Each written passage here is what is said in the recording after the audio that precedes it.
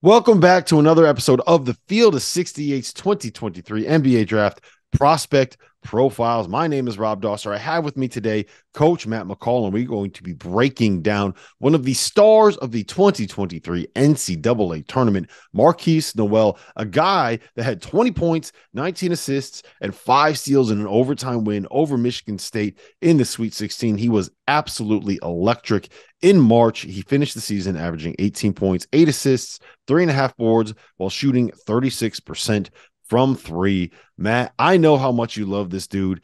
Here's the problem he is 5'8, 160 pounds, and that's what he's listed at. I don't even think that that's right. He probably got the bonus of an extra two inches just from that listing. Can you draft a guy that is five foot eight and 160 pounds soaking wet to play point guard in the NBA? I, I don't know, Rob, if he gets drafted.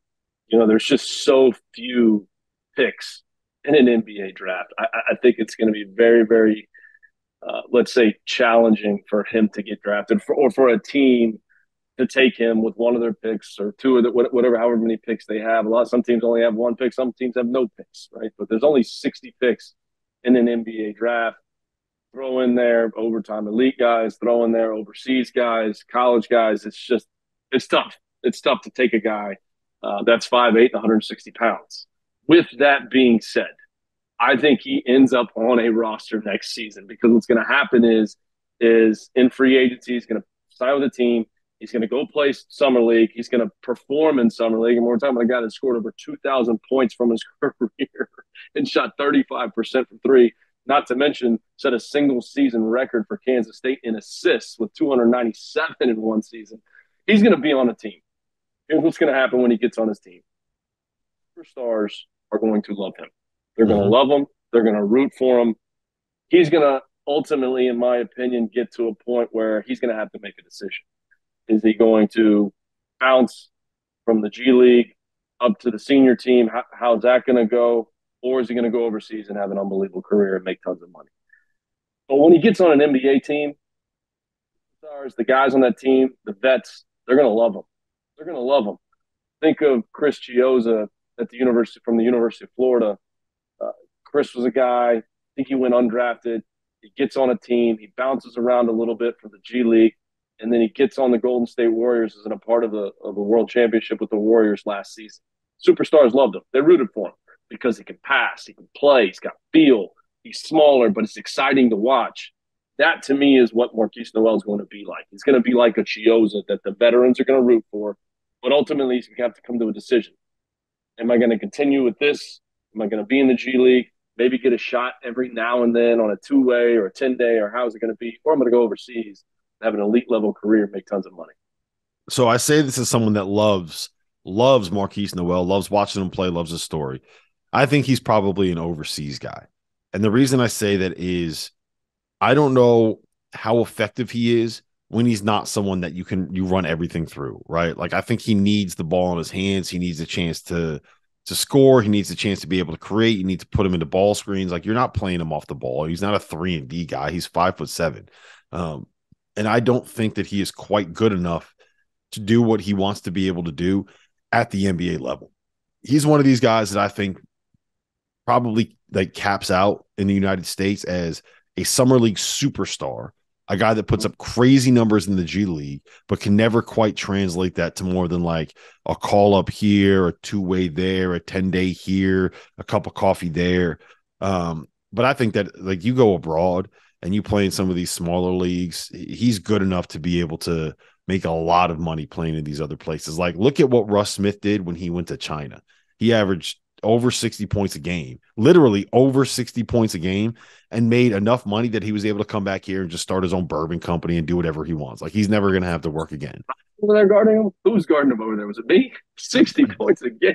Doesn't matter, man. It doesn't matter. Like if you're if if you're good enough and you're an American over there, they just kind of get out of your way and let you go in some of those leagues. And I think Markquis Nowell is a guy that can he might be able to make seven. Like, I know that they'll pay seven figures in some of those teams in Asia. So um, I I think that he probably is a.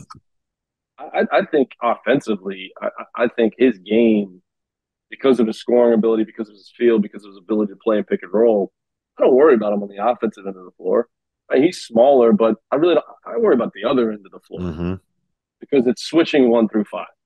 Our partner for today's episode is Athletic Greens. I started taking AG1 during the college basketball season, and I loved the impact that it had on my energy levels. I'm a big coffee in the morning guy, but by the time that the afternoon would hit, I needed another boost. AG1 helped me tremendously, especially on those days when I didn't want to get up off the couch and go hit the gym. Their tagline is AG1 is comprehensive health and the power of habit in one. And man, that could not be more true. It's nearly impossible to eat and drink in a healthy manner in the month of February and the month of March when you are in my business. And AG1 was exactly the supplement that I needed to improve my gut health and cover my nutritional basis for the day. I've continued that into April, I've continued that into May, and I'm going to continue that the rest of the summer. All I have to do is mix a scoop of AG1 with some water or maybe add it into a smoothie, and I'm ready to go. Do it after lunch, and you'll be ready to go for the rest of the day. If a comprehensive solution is what you need from your supplement routine,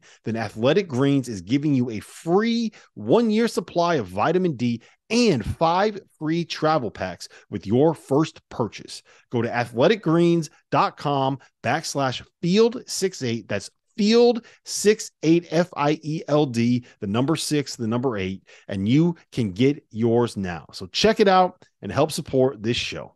Thanks not switching one through five, it's switching one through four. And the size of Jaylen Brown, Jayson Tatum, these bit Jimmy Butler. I don't know. I just named you know three of the best guards in the NBA, but the size of those guys, they're going to just catch face up and shoot over them. Like to me, that's the biggest issue. Devin Booker what, is not considered a big guard, and Devin Booker is eight inches taller than Markquis Nowell. Here, here's a here's a and, and I think Markquis is a way better scorer and a better player. Tyler Ulis. Tyler Ulis got drafted. He was so small, but you never really ever heard about him having an NBA career because of that. Now he's on Kentucky's bench starting his coaching career.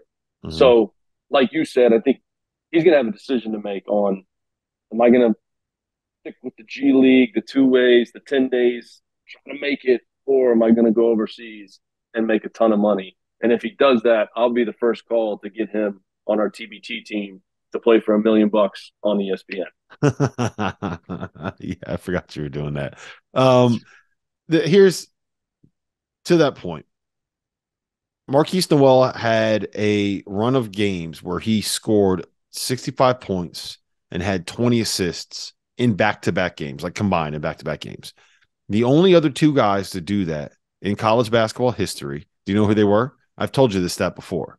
I'm going to say Jason Kidd and Magic Johnson. Trae Young and Ja Morant, right? Ja Morant is a little bit of a different story because I think that Ja Morant is a little bit of a different uh, kind of a player. But I look at Markquis Nowell and Trae Young as like really similar in kind of what they do offensively, right? Lots of deep threes, tons of ball screens, can make all the reads out of it. Um, maybe a little bit too flashy for their own good, maybe shoot too deep a couple of times, but like at the end of the day, like they're you put them in ball screens, you space the floor, and you just kind of trust them. The ridiculous stuff that they're going to do, it's probably going to work out the majority of the time, right? Trae Young is a liability defensively, right? He is the guy that you pick on. He is the guy that you go say, all right, we're going to try to find a switch and try to get our guy isolated on Trae Young. The concern that everybody has with Trae, despite all the numbers that he puts up, the reason why he's not this superstar winning playoff games, can't guard. That's a concern everybody has with him. That's why he's not the same tier as some of the best players in the NBA that he averages more points than. He's four inches than, taller than Markquis Nowell, and he's 40 pounds heavier. That's right. That's what I was about to say. But don't ever sleep on those New York guards, man. They find a way. No. They find a way. They, they find this, a way. He got this right here. He got yeah. this right here. No question. No. Yeah. But I mean, he just just the numbers and the 33 games with over 20 points, six games over 30 I'm telling you, he's going to be on a roster next year. And the vets, the superstars, they're going to love him and they're going to root for him. But at the end of the day, it's coming down to this. And if he can make more of this doing it over the pond, he's got to do that for him and his family.